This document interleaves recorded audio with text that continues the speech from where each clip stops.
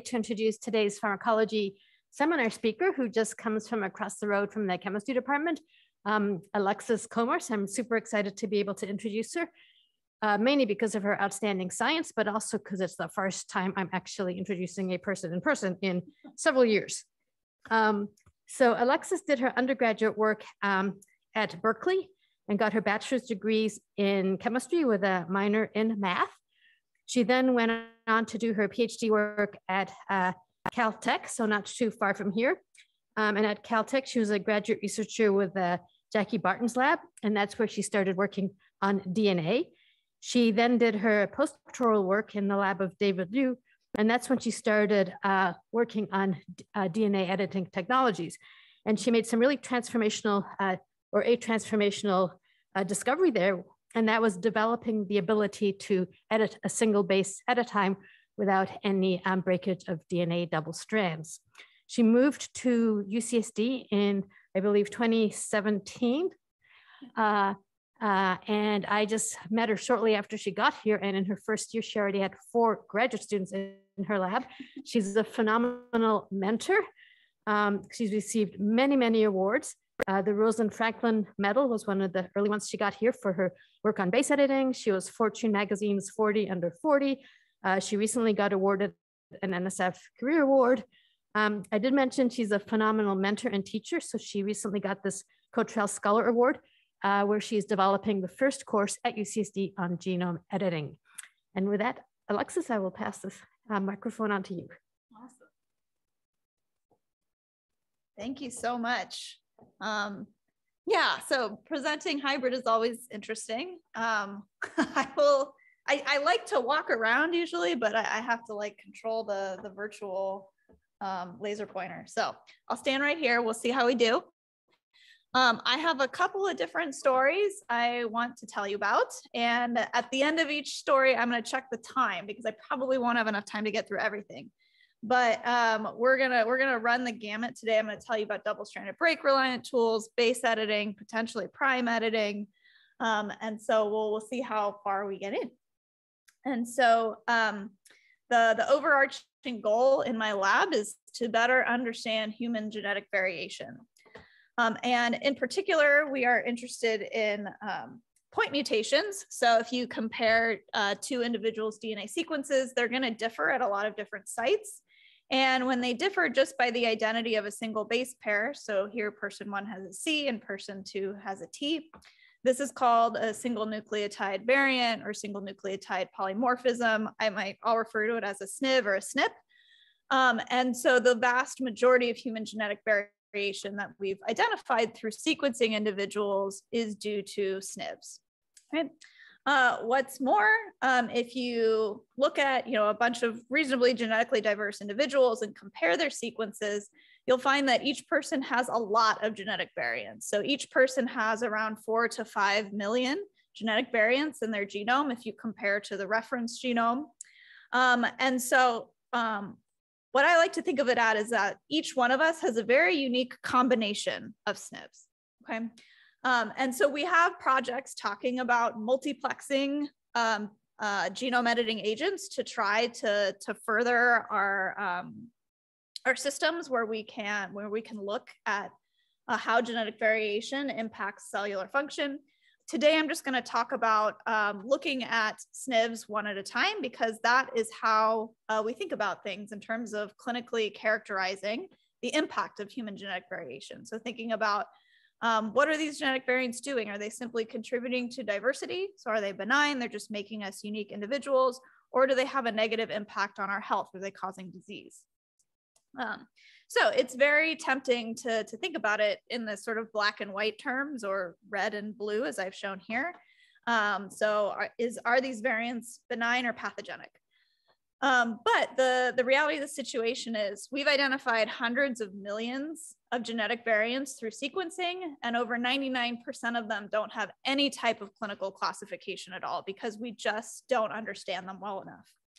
Um, and the less than 1% that we have clinically characterized, um, it actually falls on this five category system, ranging from pathogenic to benign. Um, and most of these variants are in these middle three categories, meaning okay, we know that they're impacting human health, but we're not 100% sure how. Um, and so this is shown in pie chart form here. This is known as the variant interpretation problem. The fact that we're constantly generating more and more sequencing data and identifying new variants, but we our ability to interpret how they're impacting human health is lagging very, very far behind. Um, so you can see less than 1% have a clinical interpretation, and only about a third of those are actually classified as benign or pathogenic. Um, and you know, you can think about why why do we care about clinically cl classifying these variants? Well, it leads to precision medicine. So if someone um, shows up to the hospital because they're suffering from a disease, the idea is we can sequence them, determine the root cause of whatever disease they're, they're suffering from, and come up with a very defined um, a treatment plan that is catered to that individual due to the sequencing data. Um, the way that we currently classify variants is purely computationally through sequencing data or through GWAS studies, so genome-wide association studies. So we sequence a bunch of individuals, you know, half are suffering from a disease, the other ones aren't. And then we, we look at what genetic variants are popping up in each population. Um, and most of the genetic variants that we find are actually um, very rare. And so we don't identify them in enough individuals to be able to classify them through purely computational methods. Um, additionally, any variants that are specific to non-European populations um, you can see here, we're just not sequencing enough individuals from ethnically diverse backgrounds to be able to start to clinically classify those variants. So the very few variants that we do understand what they're doing are specific to Europeans, which drives even larger uh, health disparities. Um, so what we wanna do is develop um, experimental methods where we can take genetic variants of interest, introduce them at will to, to cell lines and animal models, and then um, study those resulting cell lines and animal models to, to really definitively determine how these different genetic variants are impacting cellular function and by extension human health. And we want to do this in a more um, in a in a in a manner where we're looking at genetic variants from all different backgrounds equally. Okay, so um, this. Okay, and so the first step to do this is um, we need to be able to introduce genetic variants at will and develop those, those models or generate those cellular models in, in a laboratory setting. And so we do this using genome editing. Um, my first little story is going to start with um, traditional genome editing, as I call it, which is where we use double-stranded breaks to introduce genetic variants of interest. Um, and so we pretty much everybody nowadays uses CRISPR-Cas9 because it's so easy to use. Um, the way that it works is that um, imagine this is our genomic DNA. This is where we want to do our genome editing. Um, we would essentially, we take Cas9 and then design what's called a guide RNA um, in order to tell Cas9 bind to this exact spot here and introduce a double-stranded break or DSB. Um, and so the first, the five prime end of that guide RNA, so the first 20 nucleotides is just going to um, base pair with our genomic DNA via Watson-Crick-Franklin base pairing properties. So it's really, really, really easy to reprogram this tool to bind to a new location in the genome. Um, it just involves like highlighting the sequence and copy pasting into IDT. And that's why this technology has been so revolutionary. It doesn't require any protein engineering or anything. Um, okay, so from there, um, we have a double-stranded break. We've chopped the DNA in half, and there are two different DNA repair pathways that are going to compete with each other to process this double-stranded break. Um, and so the first one, the more uh, efficient pathway that is very ubiquitous, so it's always active throughout the cell cycle in all the cells in our body. Um, these are called end joining pathways. And so usually they simply just religate the two ends of the double stranded break back together um, in order to, to fix it with high fidelity to give us our original sequence. Um, under genome editing conditions, though, Cas9 will just rebind and recleave. And what happens is eventually these end joining pathways make mistakes um, of insertions and deletions of random bases at the site of the double stranded break. So that's what this red is showing. Um, however, it has been shown recently that for a given double-stranded break site, these uh, indel sequences um, are um, uh, are uh, basically the, the same sequences occur over and over again for a given uh, double-stranded break introduction site. Um, so they are quite reproducible, but um, they can be kind of difficult to predict, and there's certainly no for you to dictate what they are. Okay. So they're usually these are not very helpful to us. Okay, if we're trying to do genome editing, we're just getting these these different sequences of indels. Um, however, what we do is we co-opt the HDR pathway, which stands for homology directed repair. Um, and usually this uses a sister chromatid as a template to repair a double-stranded break. Um, but what happens is we will introduce a sort of fake sister chromatid into the cell at the time of genome editing. So this is a piece of DNA that has high homology to the site of the double-stranded break, but we've encoded in it our mutation of interest. So that's shown in blue. Um, so HDR uses this as a sister chromatid to fix the double-stranded break, and in the process, it incorporates our mutation of interest. Okay. Um, so as I mentioned, this, these end joining pathways are much more efficient than HDR. HDR is also only active during the S and G2M phases of the cell cycle. So typically we'll get a couple of percent of our cells have HDR outcomes and then the rest are all uh, indels. Um, and so this has been a huge challenge in the field because obviously we want HDR to be as efficient as possible because we want um, this desired precise DNA outcome, DNA modification outcome.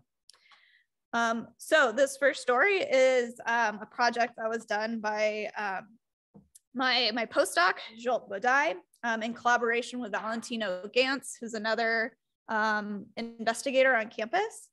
And what we did was um, we, we were looking at, again, these sequences of these indels. We were trying to do HDR mediated genome editing. And for particular site, we would always see the same like single base pair insertion popping up over and over again. Um, and so we thought, hey, well, you know, since this particular indel sequence is always happening, um, is there a way to sort of then take these DNA sequences and then recleave to give us a second chance at HDR? Um, and so we call this the double tap method. And what happens is we will do an initial set of genome editing experiments, and then we will um, sequence the outcome and characterize what these indel sequences are. Um, and then we repeat the experiment, but add secondary guide RNAs. Okay, so here we have a primary guide RNA, which matches the original genomic DNA sequence.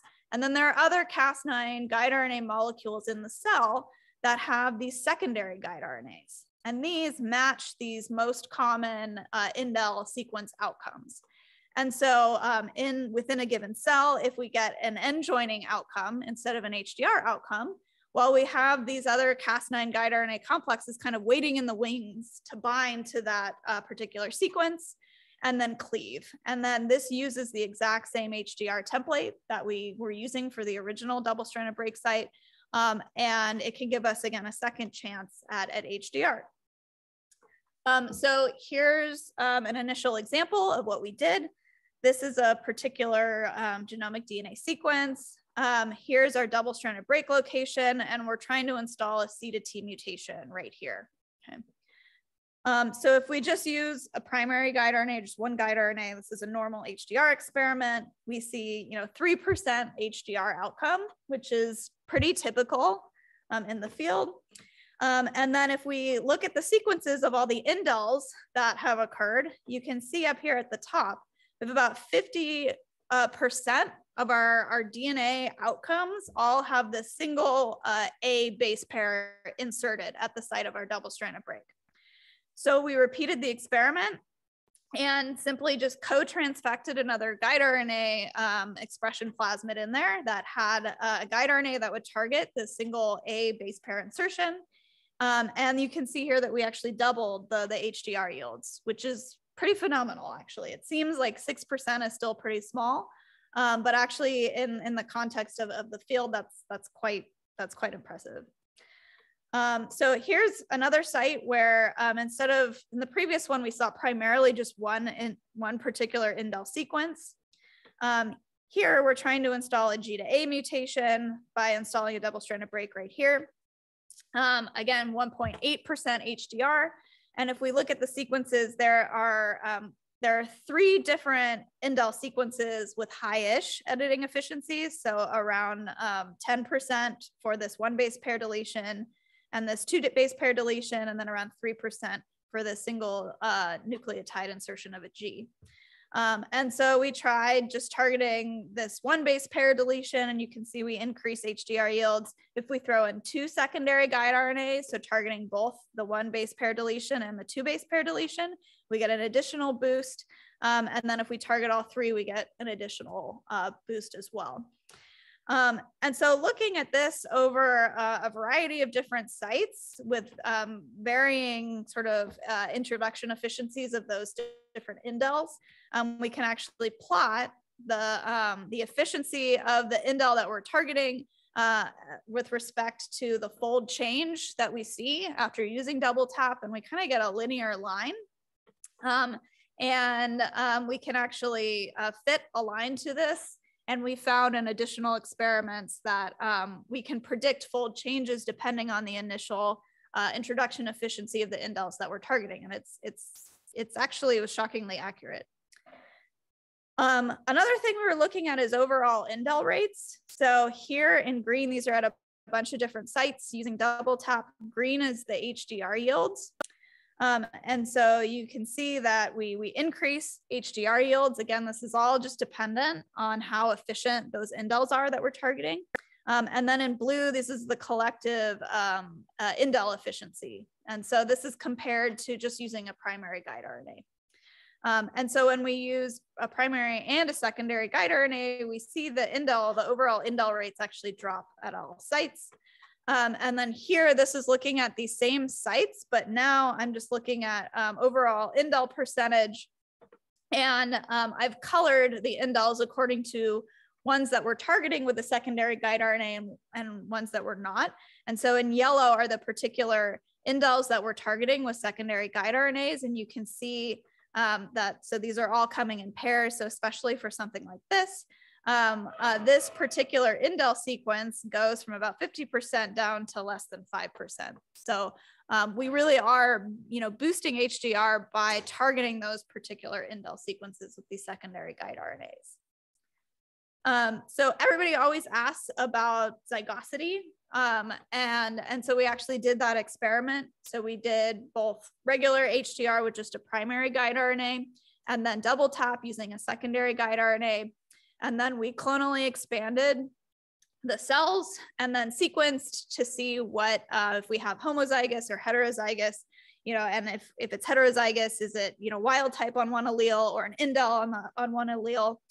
Um, and so here we have uh, 41 um, cells for, for each of these uh, bar charts. And then you can see um, and red is the, the percent of, of, of cell lines that we generated that are homozygous for that mutation of interest. And that increased over threefold. Um, and then we actually decreased the number of cell lines that were H that had the mutation of interest and an indel. Um, and then um, again, we have um, um, and we, we've also increased the number of heter true heterozygous cell lines, which are actually quite difficult to make. True heterozygous, where one uh, allele is the mutation of interest and the other is wild type. So when you get heterozygous cell lines, it's usually one allele is the one you want and the other is an indel. Um, you can see over here, we don't have, with just the primary guide RNA, we actually have no true heterozygous cell lines, and then we can get a couple using um, the double tap method. Um, so one other thing I want to talk about is um, we can combine double tap with other HDR enhancing methods to improve it even more. Um, over here, this is um, just at one of our sites, the primary guide RNA only. And then when we use double tap, we get about a twofold improvement. Um, and so we combine this, which known with um, a, a, technique that's known as blocking mutations. so what is can be responsible for really high, high indel rates when you're attempting to do HDR mediated genome editing is if your mutation of interest occurs outside that region that's base pairing with the guide RNA. So let's say in green here, this is the mutation that we're introducing. Um, so if the, the protospacer region, which is what Cas9 uses to, to bind, is still intact, you can actually get Cas9 rebinding and recleaving, even though you had a successful HDR event. Um, and and then kind of funnel more and more of these through through NHEJ. So you can get a lot of ones actually that have your mutation of interest and an indel in the same piece of DNA, which is very frustrating. Um, so what sometimes what we'll do is we'll just add an extra mutation in like the PAM region or in the, the protospacer region to block Cas9 from rebinding and recleaving. Um, and so this, we don't like to do this because it's like an additional mutation that we don't really want in there. Sometimes um, this blocking mutation can be silent, so it's okay. Um, but nevertheless, people have used this a lot um, because as you can see here, this is just, um, if you compare this, the pink numbers here to here, this is just by simply using a blocking mutation. You can actually uh, boost HDR about fivefold here. Um, and then if we combine a blocking mutation with double tap, um, you can see over here, we've boosted HDR by almost tenfold, um, which is really great. Um, and so here, like again, this is just the um, at, a, at a different site showing um, primary guide RNA only versus with double tap. Um, and then we tried adding these um, this small molecule called ALT-R, which is um, this mixture that inhibits um, NHEJ proteins. Um, and so comparing the, the pink values here to here, you get a, a slight boost. Um, and we can combine it with, with double tap to increase HDR yields even more. Um, here is a Cas9 um, HDR protein fusion that people have used. Um, and so again, comparing the, the pink values here to here, we get a slight boost and we can combine that with double tap again and get an even uh, larger increase. Um, these types of, of, methods for improving HDR though, um, since they're messing with the, the, endogenous DNA repair factors, we actually get really, really high cytotoxicity.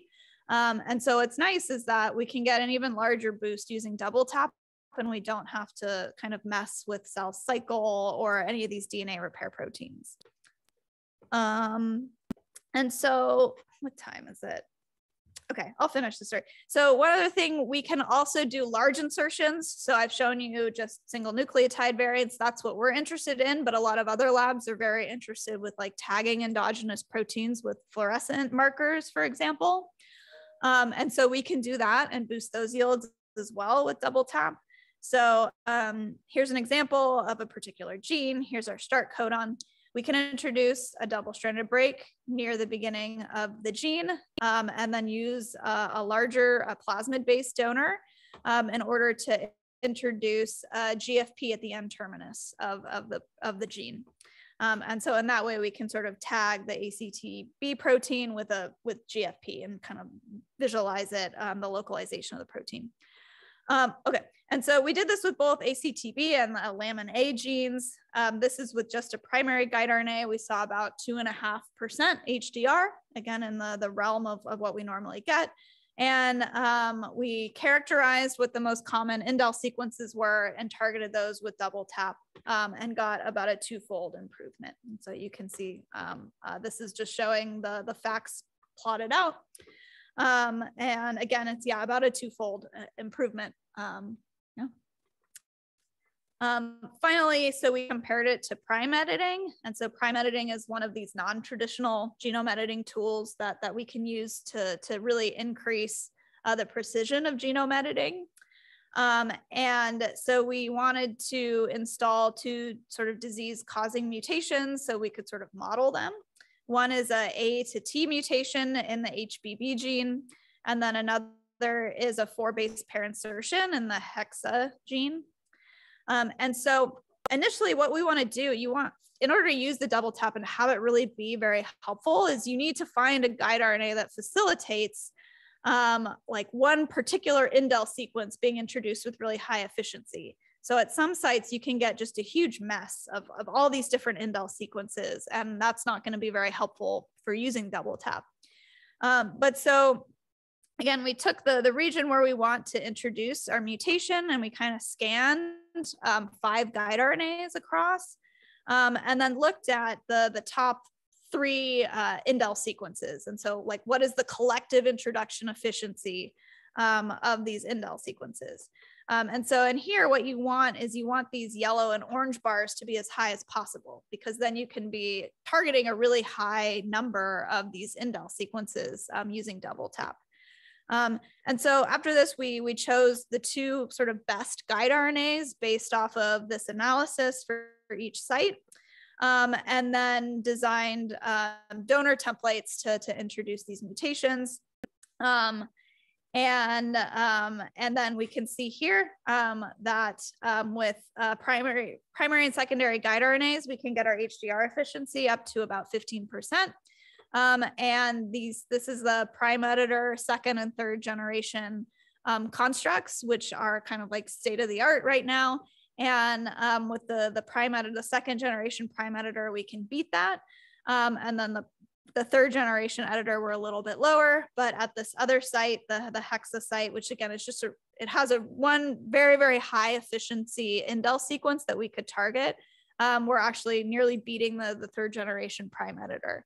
Um, and so the, the prime editor actually has certain downsides to it. It's really, really large construct. It's very difficult to design um, the guide RNAs to introduce those introduction to, to introduce different modifications. And it also um, has really high indel rates, actually due to the mechanism by which it works. Um, and so most labs um, prefer to just use HDR mediated genome editing because it is so straightforward and um, very easy to do. Everyone has like the, the techniques and the, um, the different uh, constructs that you need are actually very straightforward and most labs can do that. Um, and so, so that's all I'm going to talk about with the, um, the double tap. I'm now going to dive into base editing and what I call non-traditional genome editing tools. Um, so, so this is what I just talked about, traditional genome editing. It has a lot of, of pros. Again, most labs do prefer to use HDR because it is so straightforward. Um, but again, we have this major issue um, between um, HDR and NHEJ. Okay, so this is what I call uh, genome editing precision. The precision is, is, is pretty low because we have such high indel rates. Um, and, and this is through, um, this is because of just the way that double-stranded break repair works in our cells. Um, and so during my, my postdoc work, I developed um, base editing, which is one of these next generation uh, genome editing tools. I call it a non-traditional um, genome editing tool. And um, instead of using double stranded breaks, we use alternative DNA damage intermediates. Um, and so these are comprised of uh, Cas9 and a guide RNA. Okay, so we can still program it to go to a particular location in the cell just through um, simple DNA base pairing properties. Um, but we've catalytically inactivated um, the Cas protein um, so that it doesn't cleave the DNA. Okay, and so we have a couple of different flavors of base editors. Some, the Cas9 is completely inactivated, and in some cases, it's a nickase. I'll show you why in a second. Um, but then fused to Cas9 is a DNA modifying enzyme. And so this enzyme can bind to single stranded DNA specifically and do chemistry on the actual DNA nucleobase. Okay, so over with traditional editing, we cleave the DNA backbone. In base editing, what we're going to be doing is modifying the actual DNA nucleobase. Um, and so um, with, with, there are two different types of base editors. One is called a cytosine base editor or a CBE. Um, and in this case, we have a, um, a cytosine deaminase enzyme fused to Cas9. Um, and so Cas9 binds, opens up the DNA through that Watson-Crick base pairing um, action. And then uh, if the, any cytosines that are within this very specific window get deaminated into uracil. Okay. Um, and uracil has the base pairing properties of thymine. Um, so the um, this oops, this UG intermediate um, gets um, processed into a TA base pair eventually. Um, and as I mentioned, we have dead Cas9 base editors, in which case the intermediate actually does look like this. We also have Cas9 nickase base editors where we would actually nick the top strand right here. So we would have a, um, a break in the backbone just on the top strand. Um, and what happens is that kind of tags that top strand for repair. Um, so the cell will um, replace the top strand using the uracil as an intermediate. Um, and we actually get much increased um, base editing or overall point mutation introduction yields when we use nicking base editors. Okay. And so these are super new. So we have a CBE that I just mentioned, so cytosine to uracil to thymine. Um, and we also have adenosine base editors or uh, ABEs. So these take AT base pairs um, uh, that adenosine gets deaminated into an inosine, and that is read as a G. Okay, so they facilitate these two types of point mutation introductions. Um, even for the Nickase base editors, we have very, very, very low indel introduction efficiencies. Okay, so maybe like 1% or less usually. And our, um, our, our SNV introduction efficiencies are upwards of 70, 80%. Um, so the precision of these tools is really, really high. Um, there are obvious limitations in that they can only facilitate certain types of genome edits. Okay. Um, and because these tools are so new, we actually have, we know very little about how they work. Um, and so that's what I want to talk to you about right now is um, a little subgroup of my lab where we're, um, we're studying how these tools work. So we know that uh, double-stranded break reliant tools work through HDR and NHEJ, um, but uh, how do base editors work? We weren't sure. Um, so this is a project done by uh, two graduate students in my lab, Cameron Burnett and Ashley Wong. And so they wanted to look at what the cell cycle dependence of base editing is. So as I mentioned before, um, double-stranded break reliant tools in order to do precision editing with them. So introduction of particular types of mutations using HDR um, requires S or G2 phase of the cell cycle. Okay. Um, if you have non-dividing cells, um, such as neurons, those are kind of uh, like always stuck in, in G1 or in G0 phase. Um, you actually, it's really, really, really difficult to do precision genome editing using double-stranded breaks in those cell types because the machinery is just not expressed. Um, so um, we wanted to ask, we know that um, double-stranded break reliant tools and HDR is, is only active during S and G2 phase. We don't know what is processing these base editor intermediates, um, but why don't we chemically synchronize cells, which we can do with these small molecules. So nicotazole can synchronize cells in, in G2 phase and thymidine can synchronize cells in G1 phase. So we said, okay, let's synchronize the cells, perform base editing, and then see how that changes overall efficiencies of, of base editing. And we can start to understand the mechanism. Um, so first up, I'm going to tell you about um, the adenine base editors or ABEs. Um, and so again, these um, work by deaminating adenosine to inosine, and then this uh, IT intermediate gets processed to a GC base pair. Um, we looked at both um, the, the dead Cas9 base editors where we're not doing anything to that bottom strand, and then also the, the base editors that use the Cas9 nickase, where we're nicking this bottom strand right here. Okay. Um, and so over here, this is looking at synchronization effects on the, the dead Cas9 ABE. And so black is asynchronous. These are three different sites that we're doing editing at throughout the genome.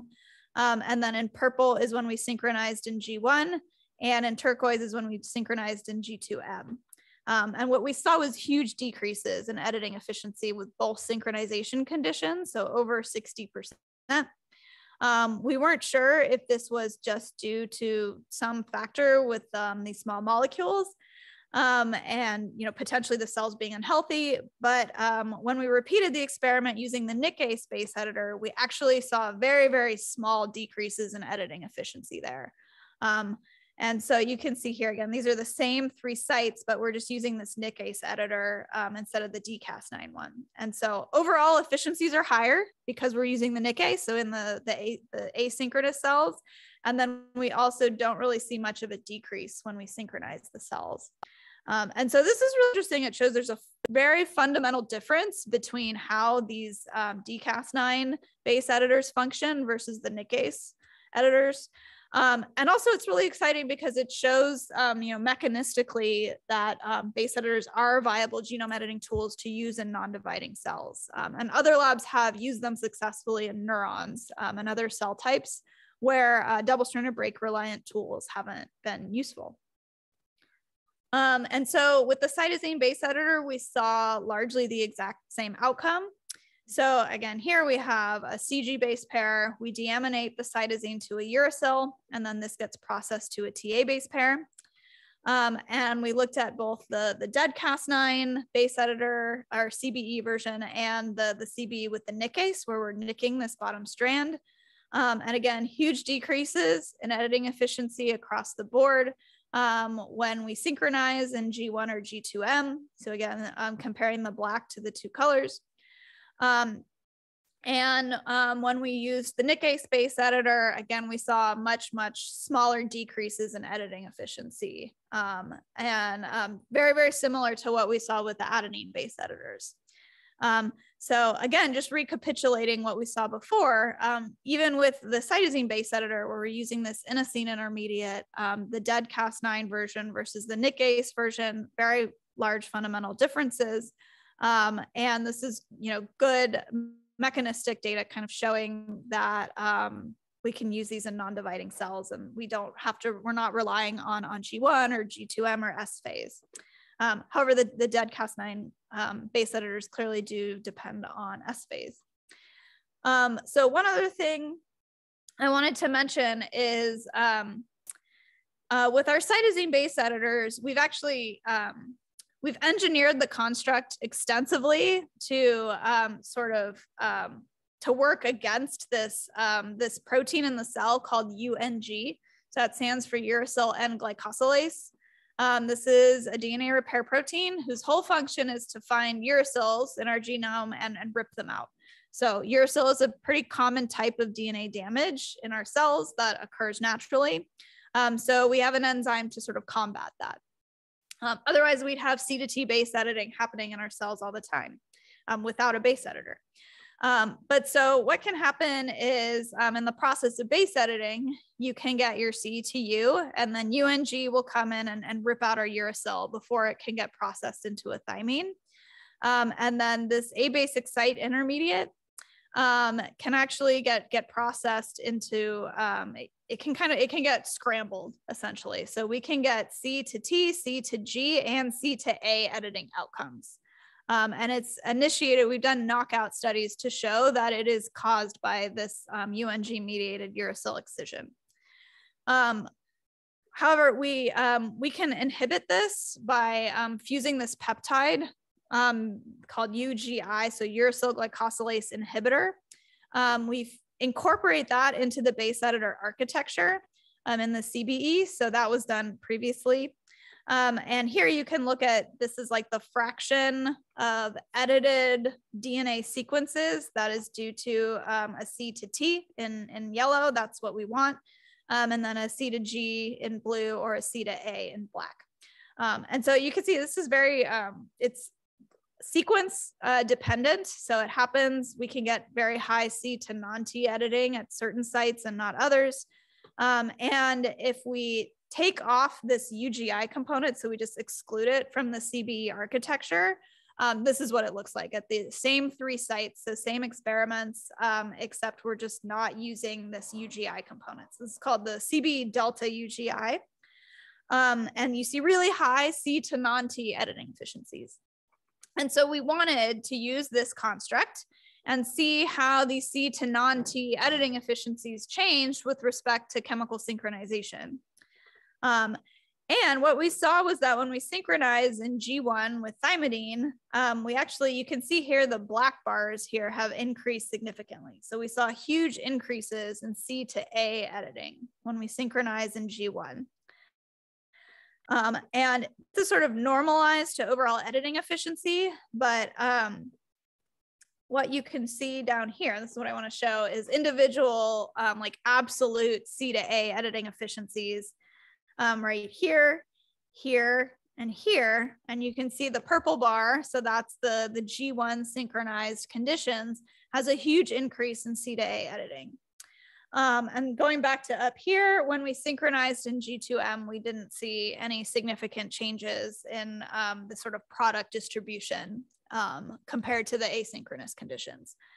Um, and so there's been a lot of effort of actually trying to um, trying to leverage this like C to non-T editing um, uh, efficiency and outcomes of the cytosine base editor, and then trying to to engineer new tools using the basic CB architecture that has like precise C to G editing or C to A editing. Um, and so, you know, this potentially we can um, identify what DNA repair proteins are involved in the C to A outcome, um, those that are you know clearly upregulated in, in G1 phase to try to understand this basic mechanism so we can um, expand the, the genome editing toolbox. Um, so one other thing I want to talk about is um, we can also have low levels of indels introduced with our cytosine base editor.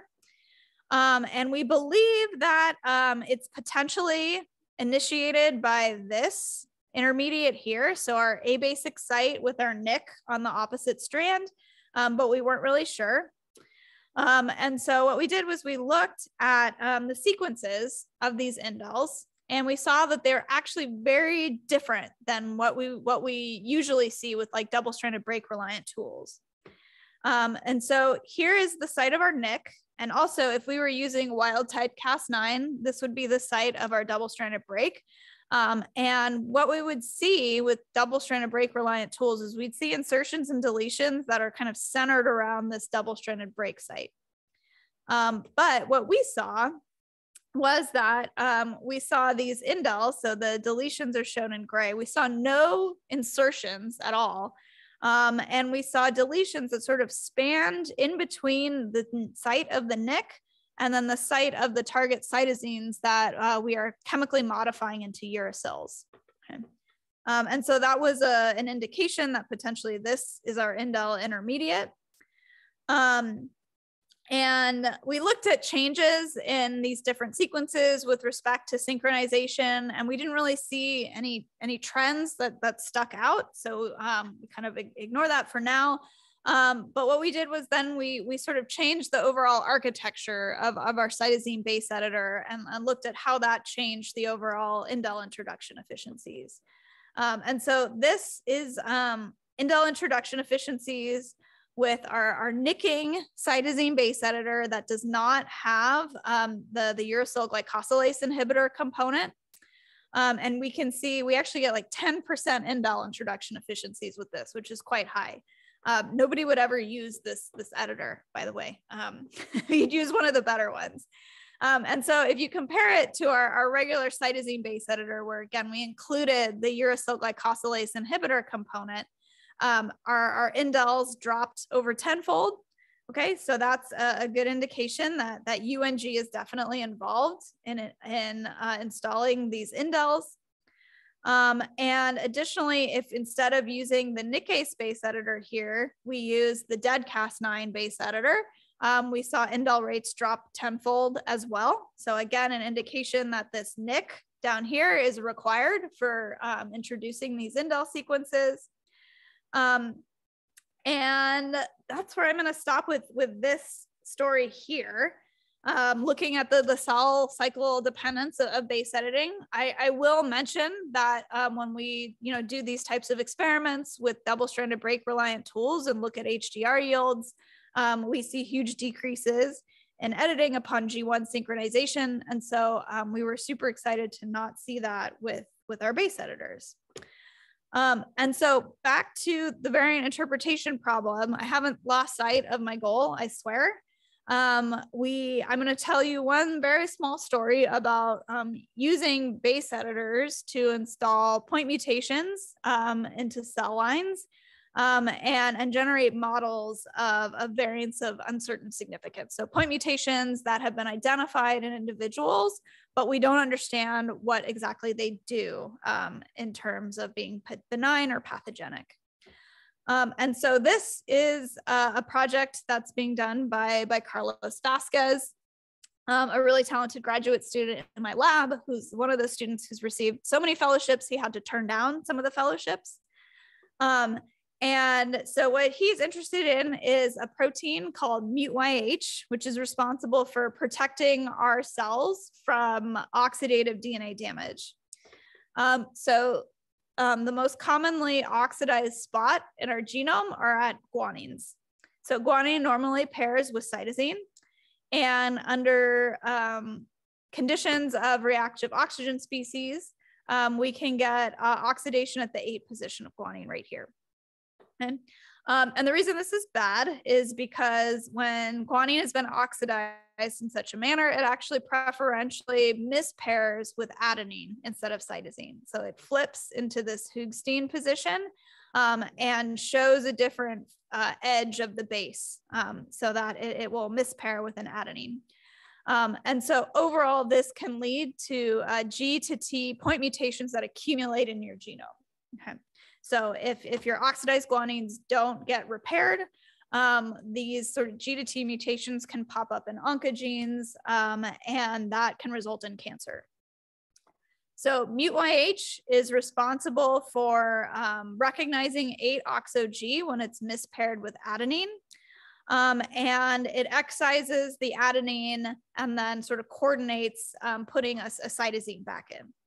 Um, and then from there, this other protein, OGG1, then rips out the 8-oxo-G and coordinates um, putting um, an undamaged guanine base back in. Um, so mutations in both of these proteins are associated with early onset of cancer or predisposition to cancer. Um, and in particular, um, if we look at all the, the point mutations that have been identified in MUT-YH, um, the vast majority of them are considered uh, variants of uncertain significance or VUS. Okay.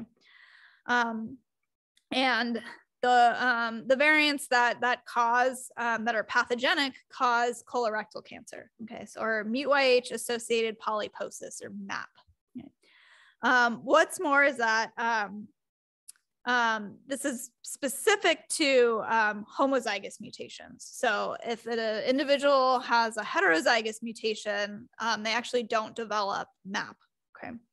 Um, but so if we want to start characterizing these VUSs, so um, if you're if you're sort of like if you've sequenced early on in your life and it's discovered that you have a, a MAP causing mutation, um, you actually can just get uh, colonoscopies early on in your life to sort of monitor the situation, and um, your prognosis is much better than individuals who don't know. Um, so if you have, um, if you're sequenced and you have a VUS, um, both you and your doctor are like, I don't know what to do.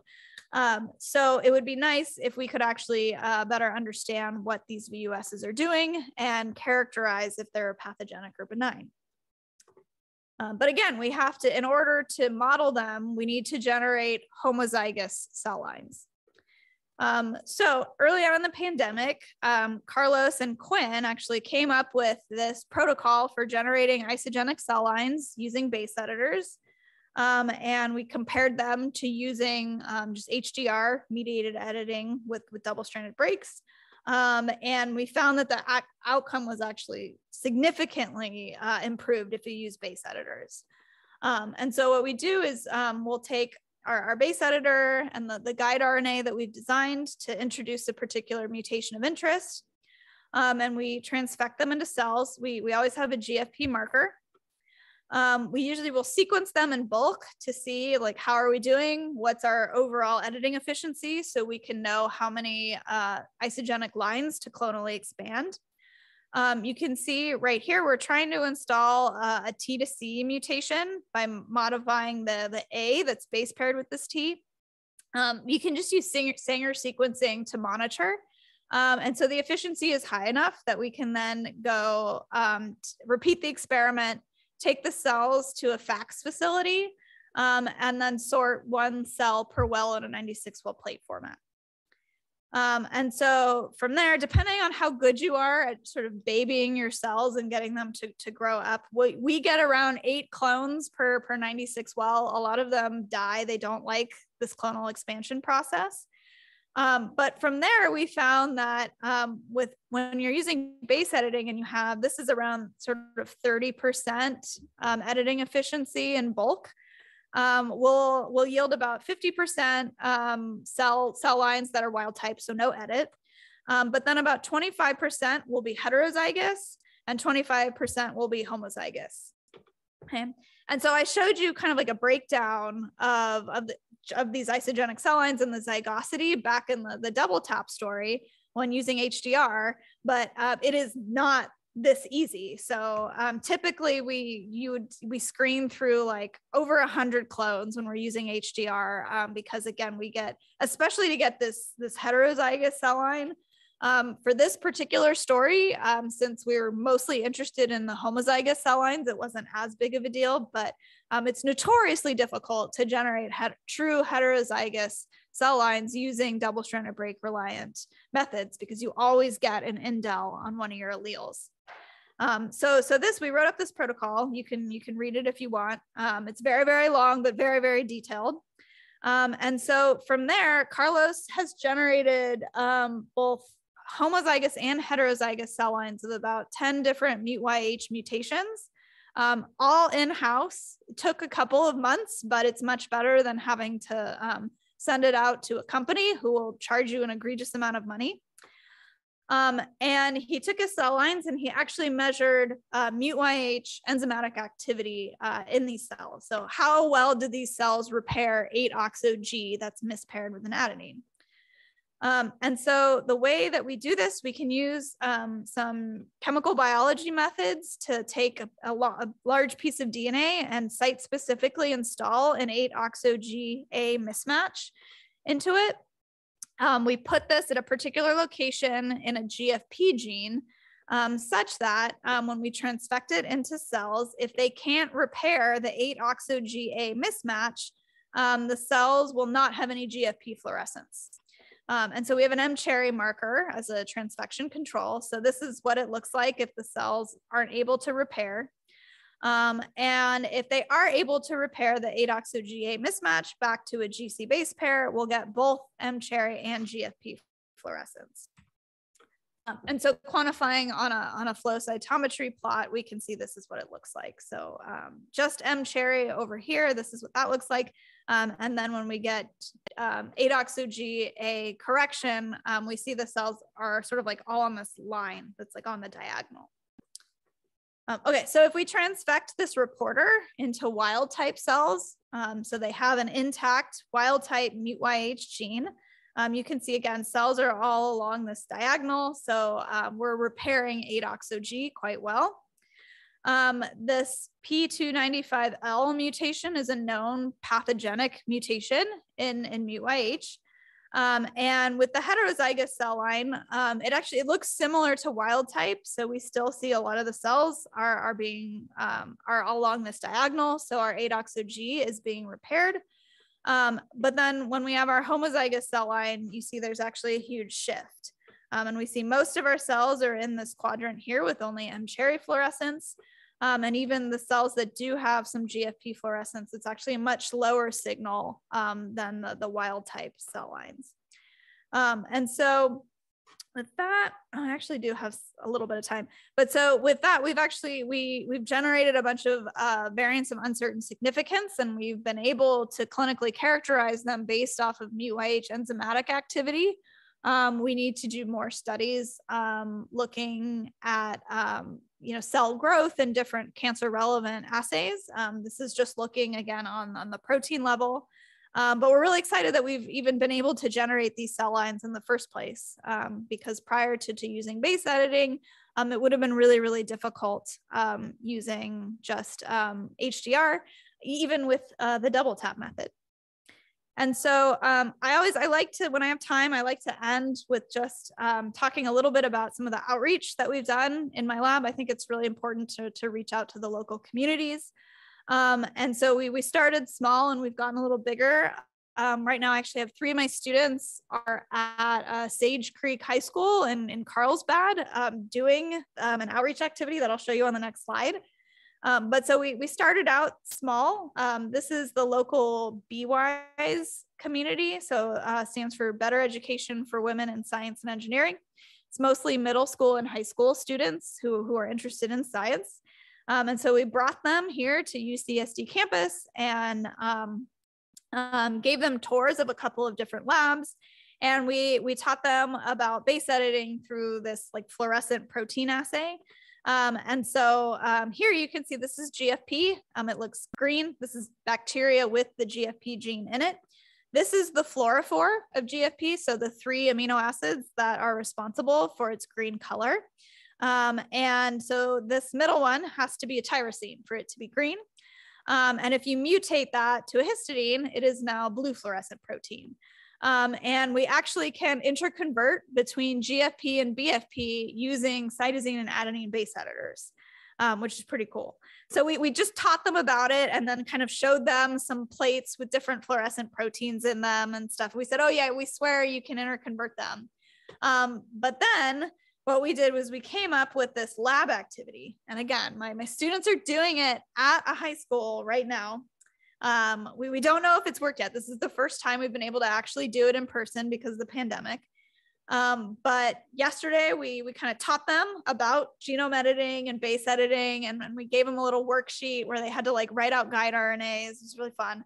Um, and then we gave them today that we gave them E. coli cells that have GFP-itis, um, where we've completely inactivated GFP. Um, so we've mutated that fluorophore, um, the first um, amino acid in the fluorophore. We mutated it to isoleucine so that it's completely non-fluorescent. Um, and then we, we give them a choice of three plasmids that have three different guide RNAs, and they have to choose the correct one um, that will take the adenosine base editor to the uh, to the spot in the genome where this dead GFP is, and then correct it to wild type. Um, and so we would get uh, adenine base editing, so A to G. Um, and so in our hands, it looks like this. So this is what the, the GFP-itis cells look like. If they pick the wrong guide RNA, it looks like this. And then if they pick the right one, it looks like this. Um, but you know, we, we've never done it in a high school classroom before. So we'll, I will update these slides as soon as we get the results tomorrow. Uh, but my, my students are having a, a great time. Um, they said it went really well. So we'll, we'll see if it works. and so with that, I just want to thank my, my awesome lab. Um, this is our first picture that we were able to take after the pandemic. So no masks on. Um, this is us on Twitter. Come find us. Um, thanks to my, my funding and, and thank you guys for showing up in person. Um, really exciting to give to give a, a talk in, in person again. So with that, I'll take any questions.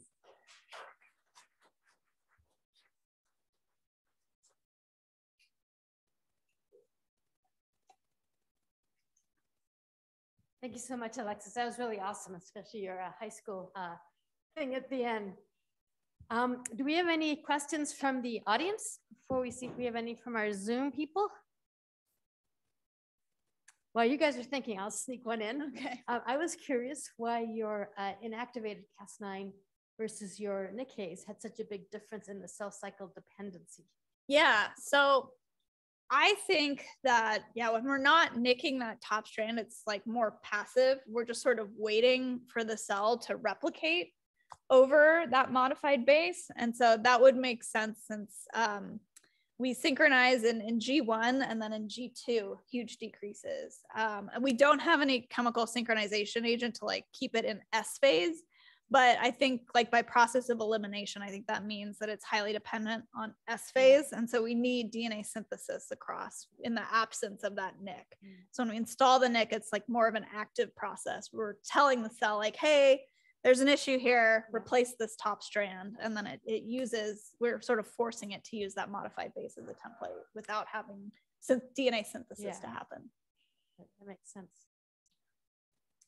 Okay, do we have any Zoom questions? We have no Zoom no. questions? Okay. All right. Well, Alexis, thank you so much. Yeah, so easy. Crystal clear. That's really cool stuff. Thank you so much. All right. Well, thank you for having me.